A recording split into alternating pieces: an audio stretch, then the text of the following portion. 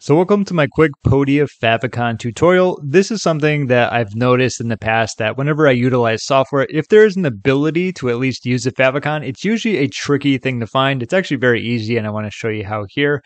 Uh, in case you haven't gotten to test out Podia or you want to follow along, the link for the free plan will be in the description. So in case you're not familiar with a favicon, it's this little icon at the top of the tab right here. We also have one here. So this is what we can add and edit. What we want to do is go to our site right here and click on edit site. It's going to be blank at the time. I will be doing another video showing you how you can edit this around and change it around, but let's do the favicon first. First things first, right? All the important stuff. We're clicking on homepage.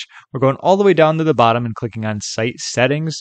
And towards the top, you can see choose file or drag here. Now, if you're curious about how to actually get an image to that size, there's a website here called favicon.io that you can see up above, and then we have uh, favicon-converter. What you can do is just add in any big picture that you have, and then when you click on download, it'll give you these smaller versions of it. So what I'm going to do is just upload that smaller favicon. So I'm going to get that from my desktop. One second.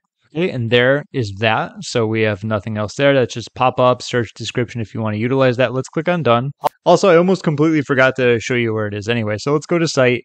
Uh, let's just do view site and it's going to be up at the top left there. Keep in mind if it doesn't show, it could be a cache thing where you just got to refresh it or give it some time. Like I said, I'll be working on the website in a different video to show you how that works. But there we have it, our favicon. That's how you can change it around. Very quick tutorial. And like I said, this is usually something that comes up with a lot of software. So in case you're using it and you're like, how do I edit that? Now you know. Thank you so much for watching, and I'll see you in my next video.